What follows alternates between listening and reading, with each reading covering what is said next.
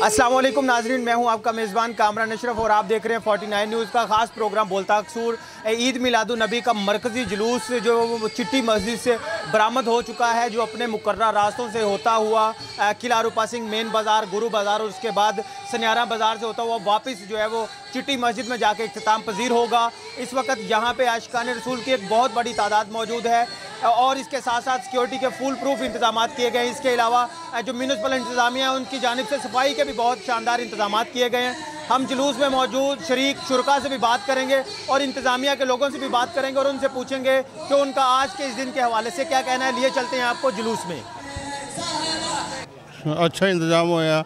मेरी तरफ़ से सारे ईद मुबारक। मरकजी जुलूस जो है वो अनवर चिश्ती साहब की सरबराही के अंदर जा रहा है। इस वक्त हमारे साथ अनवर चिश्ती साहब मौजूद हैं। हम उनसे पूछना चाहेंगे चिश्ती साहब, सबसे पहले हमें ये बताएँ कि आपको जुलूस में आके यहाँ पे जोश जज्बा कैसा लग रहा है? सबसे पहले तो पूरी इंसानियत को मेरी तरफ़ से हजूर की आमद के मौके पर मुबारकबाद में पेश करता हूँ पूरी इंसानियत को, क्योंकि आपकी तालीमत से पूरी इंसानियत को फ़ायदा हासिल हुआ है।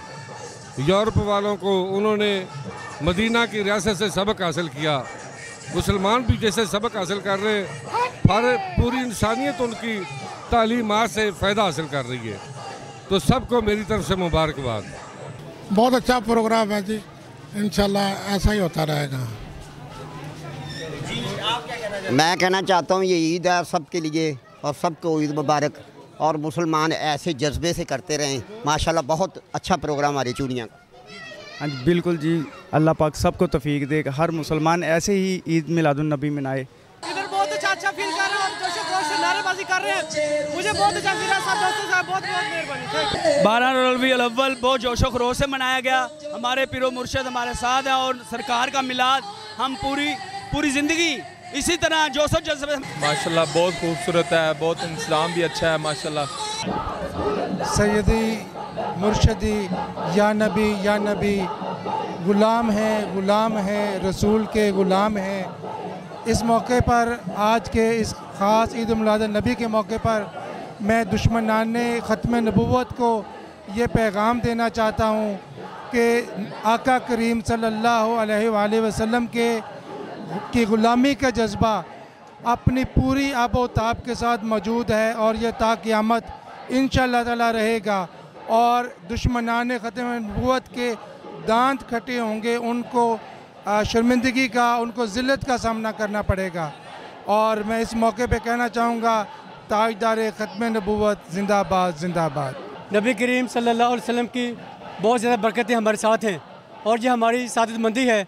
कि हम गुजशत साल गुजशत साल की तरह इस साल भी सारे दोस्त बुज़ुर्गों के साथ कदम ब कदम मौजूद हैं। मेरे साथ इस वक्त टाइगर फोर्स के जवान और उसके साथ साथ पंजाब पुलिस के जवान भी मौजूद हैं। एस एच ओ हाफिज़ यासर इस वक्त यहाँ पे मौजूद हैं। हाफिज साहब जुलूस के रास्ते में सिक्योरिटी के लिए क्या इंतज़ाम किए गए? बिसमीम अल्हम्दुलिल्लाह हमने जो जुलूस को जो है वो फुल प्रूफ सिक्योरिटी प्रोवाइड किया मेरे साथ वॉल्टरली जो है टाइगर फोर्स के जवान भी काम कर रहे हैं और बाकी मेरे तमाम थाने की नफरी और थाना सदर और दीगर थाना जात से भी जो हैं वो जवान हमारे साथ ड्यूटी पे मौजूद हैं। और अल्हम्दुलिल्लाह जुलूस जो है बिल्कुल अपने आखिरी मराहल में है और शुक्र अल्हम्दुलिल्लाह पीसफुली जो है वो जुलूस ख़त्म हो रहा है। ईद मिलादुलनबी के हवाले से कोई खसूसी पैगाम आप अल्हम्दुलिल्लाह हजूर पुरनूर सरवर कौनैन सल्लल्लाहु अलैहि वसल्लम की विलादत बासादत का मुबारक मौका है मेरी तरफ़ से तमाम उम्मत को जो है वो मुबारकबाद और इन खुशियों में जो है वो शामिल हों और अपने कलूब को मनवर फरमाएँ और दूसरों को भी जो है वो दूसरों के लिए भी मशल राह बने।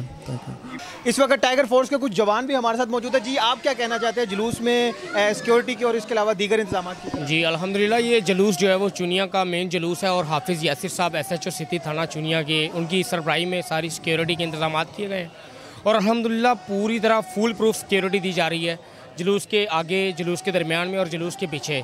पुलिस एलिट फोर्स और उनके साथ साथ टाइगर फोर्स के जवान भी मौजूद हैं अलहमदिल्ला ये नबी वसल्लम की पैदाइश का दिन है। इसी दिन दो जहानों के रहमत आलमीन है इसलिए हमें इस दिन को बहुत खुशी से मनाना चाहिए। मैं इस वक्त मौजूद हूँ चुनिया के नवाही गाँव बुकन की मैं। यहाँ पे भी जश्न ईद मिलादुलनबी के सिलसिले में जो जुलूस अपने मुकर्रा रास्तों से होते हुए पूरे गाँव का चक्कर लगाने के बाद इस वक्त मेन जो जगह है यहाँ पे आके इख्ताम पजीर हो चुका है और महफिल का सिलसिला जारी है। अगर बात करें सिक्योरिटी की तो सिक्योरिटी के फुल प्रूफ इंतज़ाम किए गए।